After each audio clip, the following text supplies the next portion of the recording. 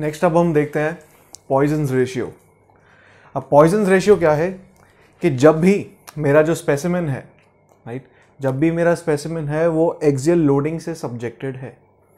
हम अभी तक एक टाइप की लोडिंग के बारे में बात कर रहे हैं ना तो अब हम उसी को ही कंटिन्यू करके सारी क्वांटिटीज़ डिस्कस कर रहे हैं राइट तो क्या है कि पॉइजन्स रेशियो जब भी सब्जेक्टेड होगा एक्जियल लोडिंग जब भी कोई स्पेसिमिन आपका सब्जेक्टेड होगा एक्सियल लोडिंग से तो पॉइजन्स रेशियो को मैं किस तरीके से डिफाइन करूँगा? पॉइजन्स रेशियो इस नाम में लिखा है रेशियो राइट नाम में लिखा है रेशियो तो इसको मैं डिनोट करता हूँ म्यू से।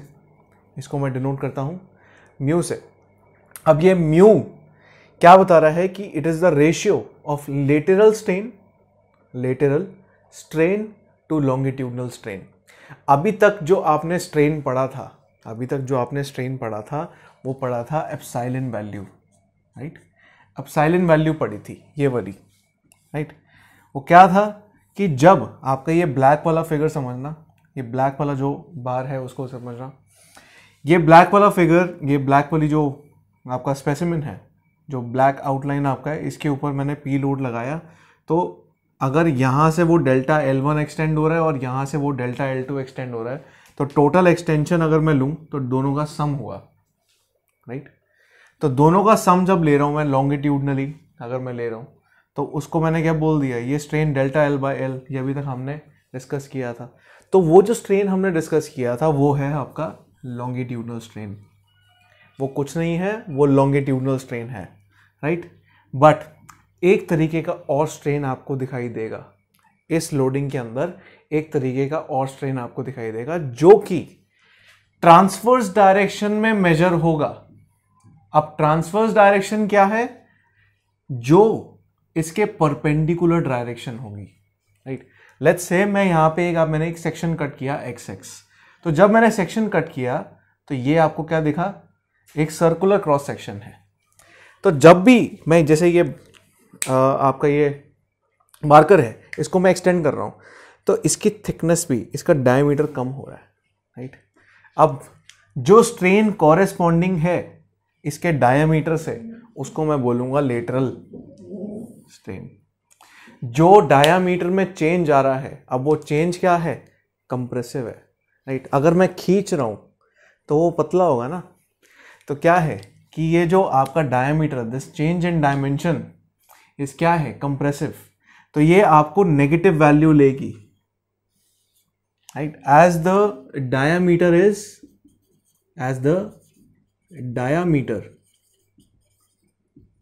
is decreasing as the diameter is decreasing I will take this negative value that is why I am considering negative value तो ये lateral strain हो गया right तो जो ट्रांसवर्स डायरेक्शन में मैं स्ट्रेन कैलकुलेट करूँगा that is your lateral strain और उसको मैं सिग्निफाई करता हूँ एप्साइलिन एल से। और लॉन्गिट्यूडनल स्ट्रेन हो गया आपका, जो हमने अभी तक पढ़ा था epsilon right so Poisson ratio is the ratio of lateral strain जो आपका परपेंडिकुलर डायरेक्शन में स्ट्रेन है अपॉन लॉन्गिट्यूडनल स्ट्रेन राइट और पॉइजन रेशियो को मैं हमेशा, जो ये पॉइजन रेशियो है मैं हमेशा प्रेफर करूँगा उसको कैलकुलेट करना किसके अंदर विद इन प्रोपोर्शनैलिटी लिमिट क्योंकि विद इन प्रोपोर्शनैलिटी लिमिट ये कांस्टेंट क्वांटिटी होगी. This mu value is constant ये कांस्टेंट वैल्यू होगी within proportionality limit within proportionality limit मतलब उस ए पॉइंट तक. Within proportionality limit up to the point A in the previous diagram ये mu आपका constant रहेगा। Beyond that this mu will not be constant this will be continuously changing right ये हो गया आपका पॉइजन रेशियो अगर मैं इसको सिंप्लीफाई करूँ, इस पॉइजन रेशियो को, अगर इसमें मैं ये लिख दूँ राइट अगर मैं यहाँ पे लिखूँ that mu will be equal to minus of delta D divided by D ये तो आपको हो गया लेटरल स्ट्रेन और आपका लॉन्गिट्यूडनल स्ट्रेन हो गया delta L divided by L तो म्यू की वैल्यू फॉर दिस एग्ज़ाम्पल जो हमने अभी कंसिडर करा है एक्सियल लोडिंग राइट जो कि टेंसाइल है नेचर में, उसके लिए ये आपका पॉइजन रेशियो हो गया। अब अगर मैं इसको कंप्रेस कर रहा होता, अगर मेरी फोर्सेस ऐसे होती तो क्या ये पतला होता? क्या ये जो रेड पोर्शन हो रहा है जो खिंचने के बाद ये पतला हो रहा है? ये पतला होता? नहीं। ये मोटा होता। ये कुछ बाहर की तरफ़ एक्सटेंड करता। Right right. अगर मैं इसको सिग्निफाई करूँ, इधर ब्लू पेन से मैं सिग्निफाई कर देता हूँ। अगर मैं इसको कंप्रेस कर रहा होता तो डायामीटर इंक्रीज हो जाता। राइट डायामीटर इंक्रीज हो जाता। तो ये वाली पॉजिटिव हो जाती और ये वाली नेगेटिव हो जाती। तो बात वहीं आ रही है, वो आपका जो पॉइजन रेशियो है, वो नेगेटिव आ रहा है राइट आपका जो पॉइजन रेशियो है, वो नेगेटिव आ रहा है राइट अगर वो कंप्रेसिव होता तो मेरा लॉन्गिट्यूडनल स्ट्रेन नेगेटिव हो जाता राइट जैसे अभी तक हमने डिस्कस किया है पीछे, हमने प्लस माइनस देखा था ना? जब प्लस माइनस हमने देखा था strain value strain is equal to plus minus delta L by L हमने देखा था। ये प्लस माइनस कब था? जब कंप्रेसिव एक्शन था तो वो था। ये ब्लू वाला जो आपको डॉटेड लाइन आपको दिखाई दे रही है ये कंप्रेसिव एक्शन के लिए है। अगर मैं कंप्रेसिव एक्शन लगाऊँगा पी का ही तो क्या होगा? ये कंप्रेस uh, होगा और डायमीटर क्या होगा? इंक्रीज हो जाएगा राइट तो अभी अब हमने ये वाला एग्ज़ाम्पल नहीं लिया होता अब इसको मैं हटा रहा हूँ राइट आई होप आपको ये थोड़ा सा क्लियर है। तो आप इसको नोट डाउन कर लीजिए पॉइजन रेशियो क्या है? Ratio of lateral strain to longitudinal strain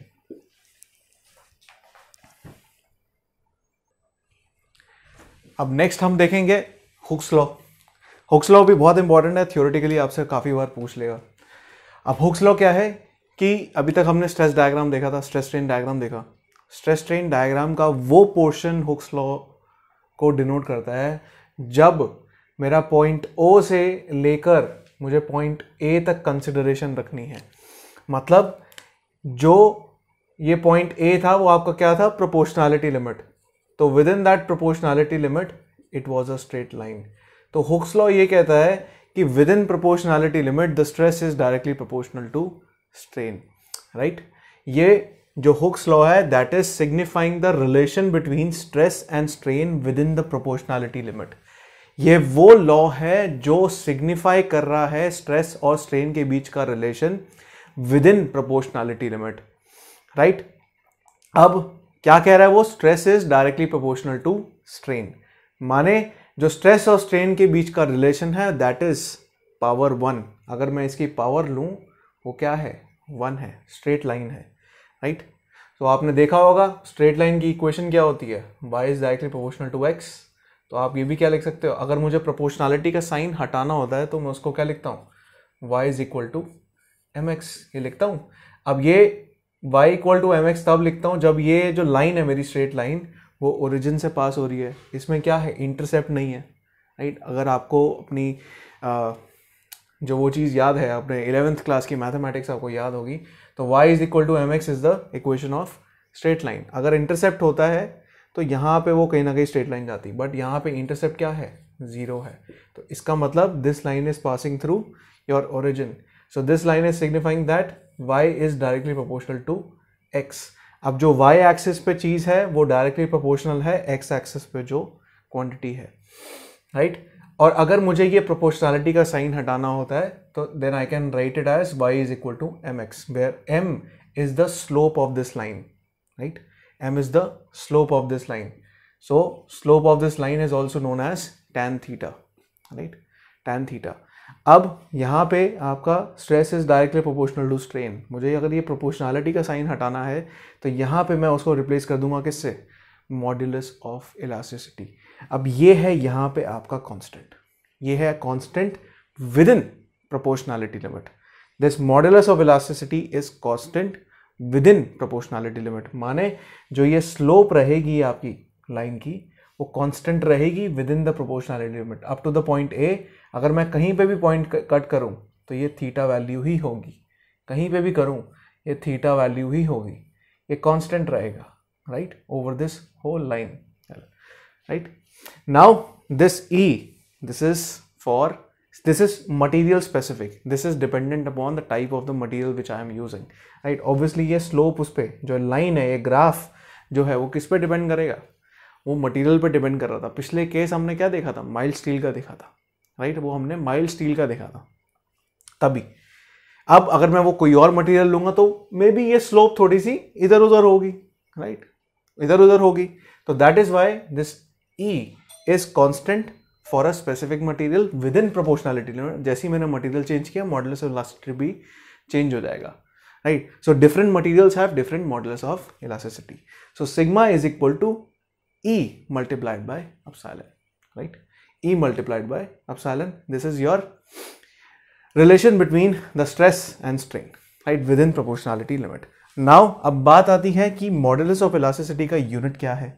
अब अगर मैं यहाँ पे लिखूं दिस ई वैल्यू ये मैं अपसाइलन को इधर ले गया तो that is equal to sigma divided by epsilon right अब ये स्ट्रेन तो यूनिटलेस है। स्ट्रेन क्या है? यूनिटलेस है। सो so, ये तो यूनिटलेस है। स्ट्रेन तो यूनिटलेस है और इसका यूनिट क्या है? Newton per M M square right hence जो आपका आपका जो मॉडल ऑफ़ इलास्टिसिटी का यूनिट होगा that is equal to newton per M M square simple right I hope आपको क्लैरिटी आ गई। क्या कहता है Hooke's law Hooke's law is within proportionality limit the stress is directly proportional to strain और जब हम ये लॉ डिफाइन कर रहे होते हैं तो अजम्पन्स हैं। अजम्पन्स क्या है? कि मटेरियल इज़ होमोजीनियस होमोजीनियस क्या होता है? कि एक मटेरियल के क्रॉस सेक्शन के अबाउट मैं दो पॉइंट लूँ। राइट जैसे मैंने अगर ये क्रॉस सेक्शन लिया, ये दो पॉइंट्स मैं यहाँ पे लेता हूँ। राइट तो सेम डायरेक्शन में प्रॉपर्टीज़ सेम होगी। राइट अगर ये थीटा है तो ये भी थीटा है तो सेम डायरेक्शन में प्रॉपर्टीज़ सेम होगी। और मटेरियल इज़ आइसोट्रॉपिक अगर मैं कोई भी एक पॉइंट कंसिडर करूँ तो हर डायरेक्शन में प्रॉपर्टी सेम होगी। तो इसका मतलब अगर इन दोनों को मैं कलेक्टिवली लेता हूँ तो दोनों पॉइंट्स पे हर डायरेक्शन में प्रॉपर्टीज़ सेम होंगी। राइट तो mild steel is kind of an close to बहुत ज़्यादा क्लोज हो जाता है कि वो होमोजीनियस और आइसोट्रॉपिक दोनों होता ही होता है। थोड़ा सा पूरा कह नहीं सकते, पर काफ़ी हद तक it is homogeneous and isotropic right and अक्सर नेक्स्ट है material is elastic obviously Hooke's law क्या है? Proportionality limit obviously B point यहाँ पे होता है कहीं, और B point is elastic limit तो मटेरियल इलास्टिक ही होगा right within proportionality limit so तो ये तीनों अजम्पन्स आपकी पूरी होनी चाहिए राइट right? जब मैं हुक्स लॉ को डिफाइन कर रहा हूँ. Please take a note of this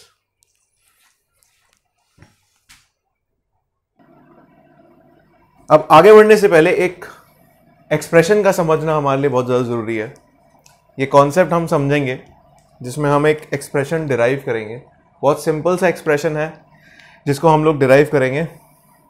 ये हम डिराइव करेंगे हुक्स लॉ से राइट हमने देखा कि हुक्स लॉ कहता है कि विद इन प्रोपोर्शनैलिटी लिमिट उसने स्ट्रेस स्ट्रेन का रिलेशनशिप बताया राइट स्ट्रेट लाइन है, हमें स्ट्रेस स्ट्रेन का रिलेशनशिप मिल जाता है।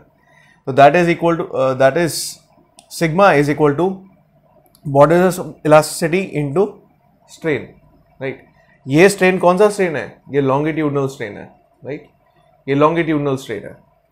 अब ये जो सिग्मा की हमें वैल्यू मिली है, अब इस वैल्यू को, इस वैल्यू को हम लोग रिप्लेस करेंगे ये एक्सेल लोडिंग के फॉर्मूले से राइट जब भी एक specimen whenever subjected to axial loading whenever subjected to axial loading ये आपकी एक्सेल लोडिंग है।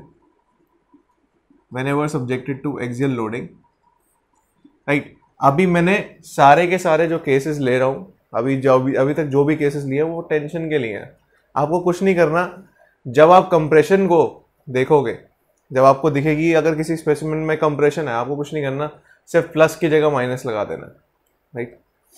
फिर उसके बाद, इस स्पेसिमेंट को देखने के बाद मैं कह सकता हूँ, अगर मैंने यहाँ सेक्शन एक्स एक्स कट किया तो मुझे दिखाई दे रहा है कि ये स्क्वायर क्रॉस सेक्शन है, जिसका एरिया है ए जिसका एरिया हमें गिवन है ए तो सिग्मा की value sigma is nothing but internal resistance internal stress that is equal to P divided by A अब, साथ ही साथ मेरे को पता है कि ये जब मैं सब्जेक्ट करूँगा इसको एक्सेल लोडिंग से, यहाँ पे आपकी एक डिफॉर्मेशन आएगी डेल्टा एल वन और यहाँ पे आई delta L two total deformation आपकी है दोनों का summation delta L one plus delta L two obviously ये दोनों वैल्यू सेम होंगे बिकॉज़ ये लोड सेम है राइट ये लोड सेम है दोनों जगह और ये सिमेट्रिकल है राइट सिमेट्रिकल क्या होता है? अगर मैं इसको इसके बीच से काटूँगा तो ये एक दूसरे के ऊपर फोल्ड कर जाएगा।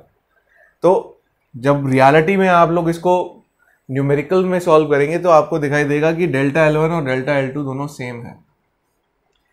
जो डेल्टा एल है, वो दोनों का समेशन है राइट टोटल डिफॉर्मेशन तो स्ट्रेन की वैल्यू लॉन्गिट्यूडनल स्ट्रेन की वैल्यू मैं लिख सकता हूँ डेल्टा एल बाय एल तो मेरे पास तीन इक्वेशंस आ गई। एक हो गई ये इक्वेशन बी और सी इक्वेशन राइट अब जब मैं तीनों को क्लब करूँगा राइट जब मैं इसको यहाँ पे डालूँगा और इसको यहाँ डालूँगा तो मेरे पास एक एक्सप्रेशन आएगा डिफॉर्मेशन का राइट मेरे पास एक एक्सप्रेशन आएगा डिफॉर्मेशन का delta is L is equal to P L divided by A E अक्सर हम लोग किताबों में देखते हैं कि ये जो डेल्टा एल है, उसको मैं डेल्टा से रिप्लेस कर देता हूँ राइट उसमें आपको कुछ नहीं करना। अब जब भी आप डेल्टा एल भी लिख सकते हैं या फिर इस डेल्टा एल को डेल्टा सिंपल ट्राइंगल से रिप्लेस कर सकते हैं राइट अब इसमें एक चीज़ और,